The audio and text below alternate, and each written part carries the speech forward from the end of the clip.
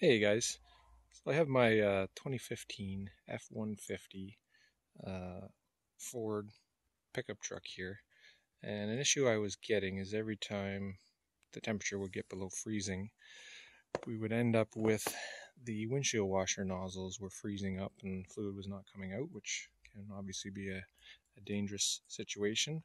So I'm going to show you quickly what I did to rectify that uh, an easy do-it-yourself fix. You can do at home takes about five minutes and uh, saves you from having to book an appointment at the dealer and um, go through the hassle of doing that. So I'll uh, I'll show you how I how I did that. The only two tools you really need for this is a, a slot screwdriver to pry open a few um, tabs and a drill with a 1 8 bit works or smaller bigger may work as well.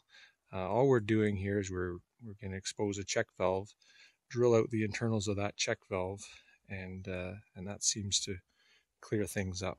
So I'll show you how we do that. The first step is to pop the hood of your truck, and you're going to see uh, some tabs here. You'll see your windshield washer line going up uh, below this cover. So basically you want to pry open this tab and this tab should be all you need. Once you've pried open those tabs and lifted up this cover, you'll find the windshield washer line here. And it's just, uh, you just have to pull it down until you get to the Y section. Should be all you need.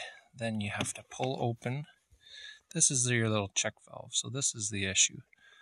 Pull it apart, and take your drill and just drill drill straight through that till there's nothing till you can basically see straight through it. Uh, I usually just blow it out with air a little bit. Make sure no debris gets stuck in there and then reattach to your line. Um, you could still look at the directional arrow,